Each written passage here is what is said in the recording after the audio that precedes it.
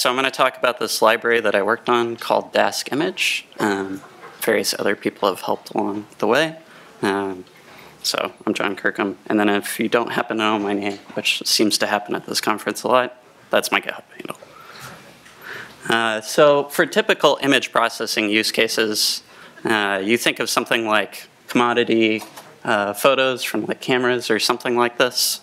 You might be doing facial recognitions. You're trying to in this case, take Biden, try to extract facial features, and then maybe apply like a Snapchat filter or something like this.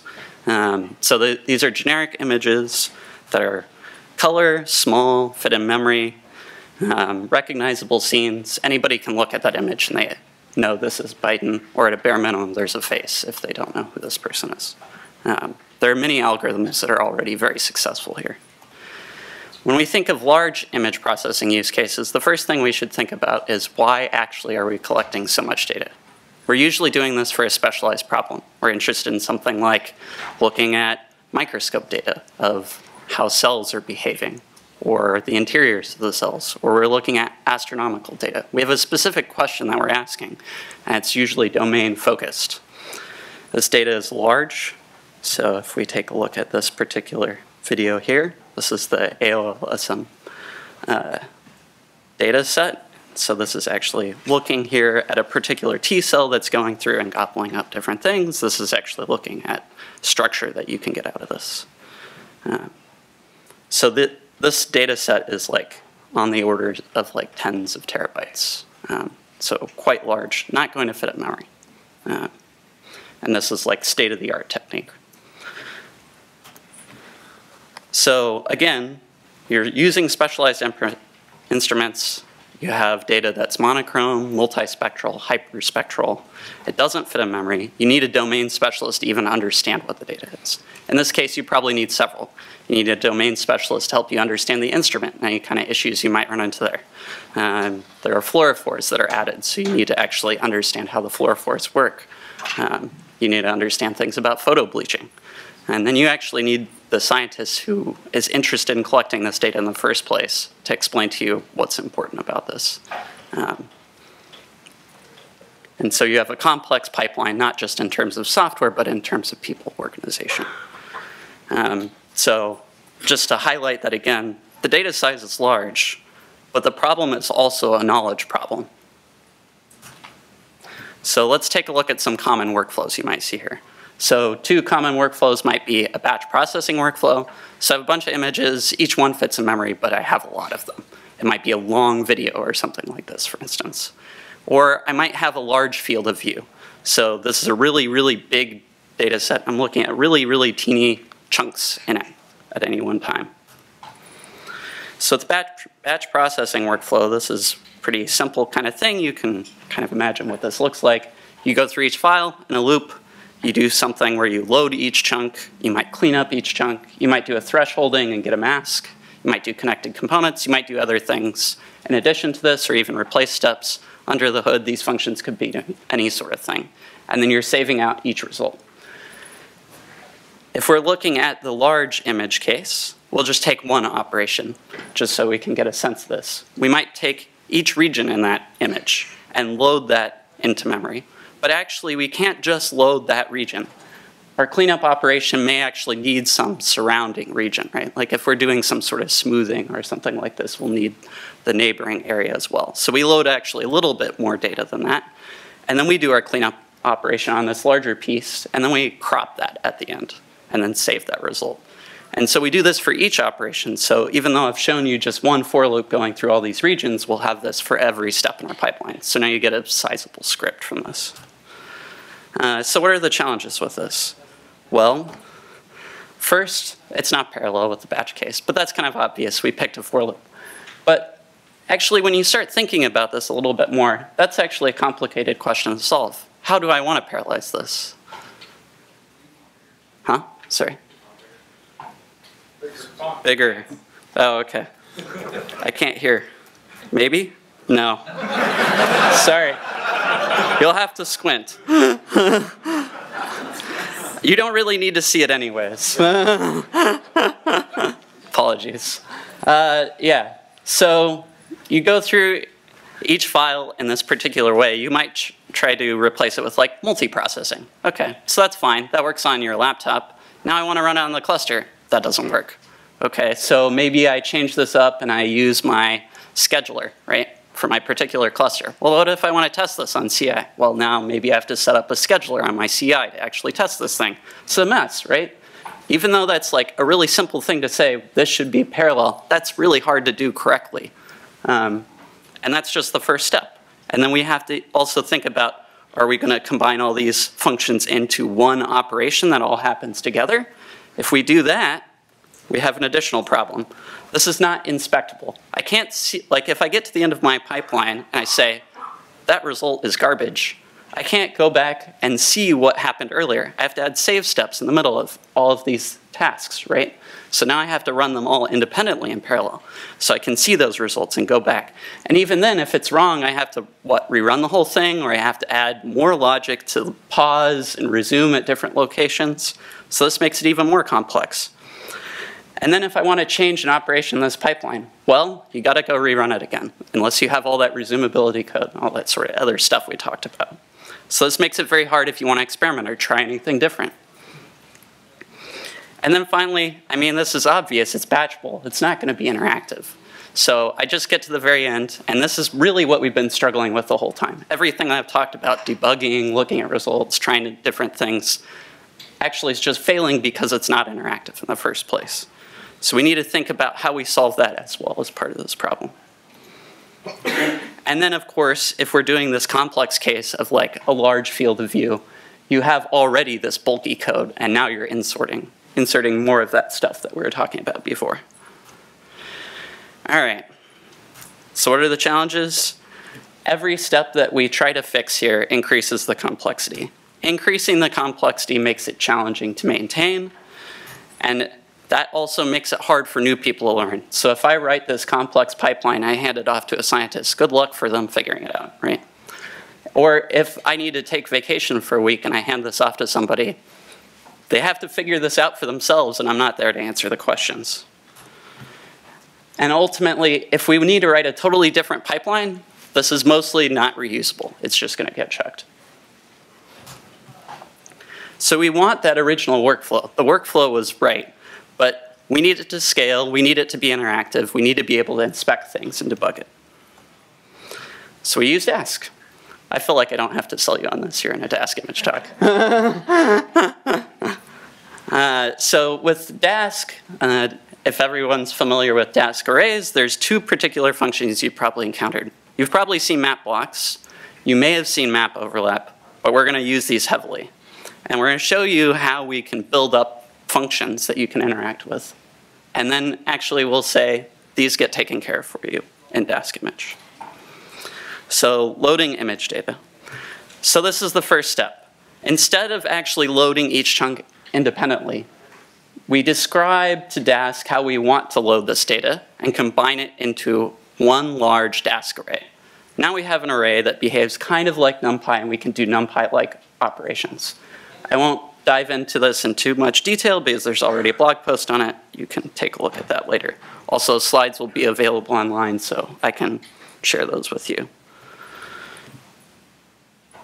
So, batch processing. How do we fix this? Well, it turns out it's really easy now, right? We've loaded this all into a Dask array, we use map blocks, we apply that in each step. Now we can see that really cleanly, right? If we look down at the code that we had before, the for loop is gone, we're not saving at each step, but we could. We could save. We could select a small piece and compute it, and it would figure out the right logic in order to handle that. This will run in parallel anywhere we want. If we want to run it single-threaded, that can happen if we need to bug it. If we want to run it on our local desktop or something like this, we can do that. If we need to run it on the cluster in the cloud, we can do this as well. None of that code had to change. If we look at the case for large image data, we see it looks basically the same, right? So there's map overlap, map blocks before, that changed. You have the overlaps here, right? So you had to figure out what those should be. So that's a little bit of work. But this is the full pipeline versus this being one step, right? So this would have been a whole script, and here we're down to the same three lines. If we knew that we needed to handle even both cases, we could use this code for both the batch case and this case. So just to highlight, how did we improve this? We used map blocks for the batch cases. We used map overlap for the large image cases. So are we done? That seems pretty good, right? Well, what about reusability? We still have this pipeline here where it's like very customized to that workflow. And how do we engage the domain specialists? We're using something that's a little bit more low level. Maybe people in this room are comfortable with it, but maybe people outside this room aren't comfortable with it. The answer is we make a library with a common API that people are familiar with. So let's take a very simple example. Let's say we want to smooth an image. So here we have this checkerboard. We might want to smooth it with like a mean filter, and so we get something kind of like this. In reality, this might be a noisy image, and we're trying to get rid of that noise. With the smoothing use case, we would have done something like this. We import SciPy ND image, we get the uniform filter, and we apply that on our data. We want to achieve that same API with Dask. So how do we do this? Well, we write a function. And so this uses the map overlap that we saw before. It handles the same arguments that you would have in SciPy image, good or bad. It matches it identically. Um, and we handle a little bit of cleanup of the arguments themselves. And at the end, we're returning this Dask array with this computation applied. So we can cover a wide variety of functions because there are many in SciPy ND image. So we can handle things like morphological operators. There might be some cases where we have to, the morphological operators need to inspect the intermediate results, so we don't handle these currently, but we can look into that if that's interesting. Um, Geometrical transforms we don't really cover, uh, but we do handle things like convolution. We didn't handle convolve 1D, but if you can do it in ND, you can constrain it to 1D, so that's fine. Correlation is covered. We can handle things on connected components on label images, so we can find things like extremas, we can find other features of those images. We can apply Fourier filters. Um, yeah, so there's a wide array of things that we can do. Of course, we don't cover absolutely everything because we added these based on need. So if there are other needs, let us know.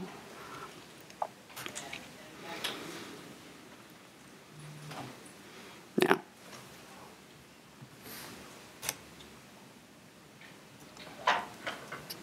Let's see.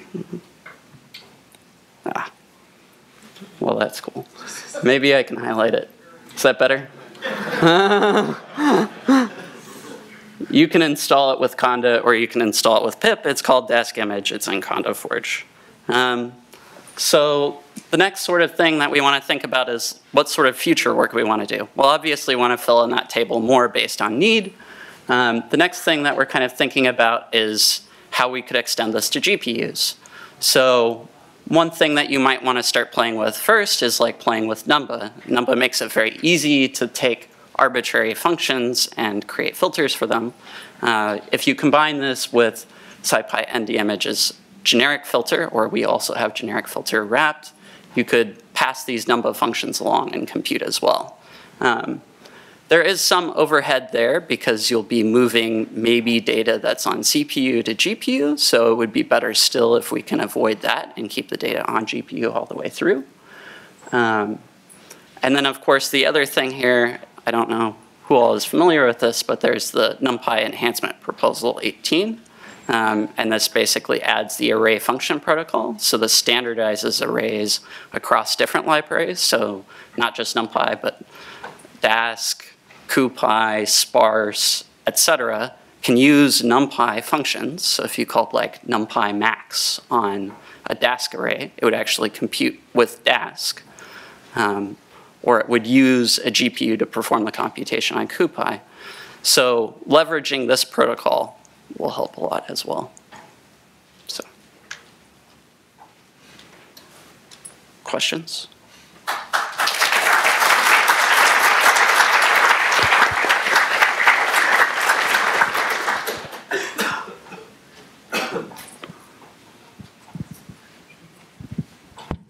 Have you been able to try that on streaming data directly out of a microscope or some other to give direct feedback to the scientists doing the experiments? Yeah, this is an interesting idea. We didn't try that directly. Normally, we had large data sets that were saved to disk that we were working with. Um, but something interesting to play with there is uh, Dask supports async. Um, so that seems like the sort of thing to try in this particular space. But yeah, I agree. That would be the next logical place to go as well. I'd like to throw a question in. So, um, how do you handle things like uh, labeling? I saw you had that covered, where there's uh, a lot of interdependence between the results in different chunks. Uh, you can thank Juan for that. He's somewhere hiding back here. There he is. um, basically, what happens there is we take each chunk and we take like one pixel around it for all of them, and we run connected components on those. And then we select the boundary as well across both chunks and do connected components there. And from that, we get a remapping of how labels would match in one chunk to the other chunk, and then use this to apply across the chunks. Very cool. And we could also look at things like watersheds and stuff like that. We haven't done that, but we've talked about it. So That's really neat.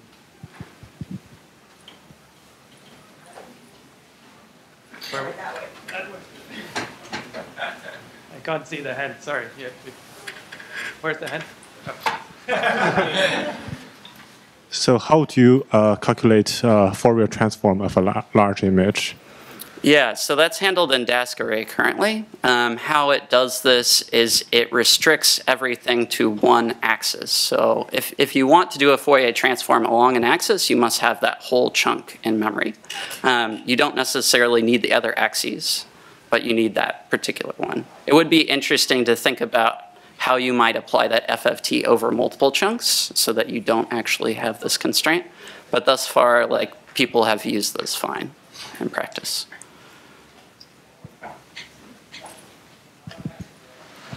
You you re-implemented most of the function in scikit image, well, lots of them. Any thought about a protocol like array function for images so that scikit image could automatically dispatch to Dask image or Dask GPU or scikit image GPU if it became the thing? Yes. So there's actually an open issue on SciPy where we started discussing this recently um, about how maybe we could actually uh, leverage array function to dispatch between SciPy and DImage's existing API in this. So you could even just apply that directly on a Dask array and then it would work. Um, it gets to be kind of an interesting question, is there are also other use cases where people want to try different FFTs that aren't array-based, that are more like they have different algorithms they want to try, right?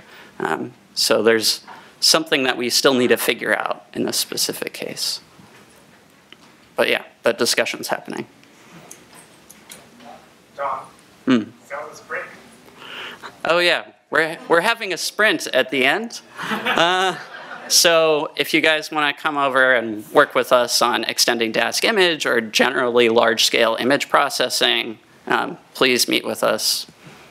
We're very friendly.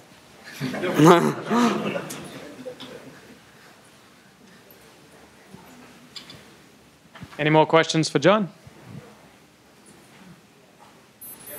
All right. Thank you very much.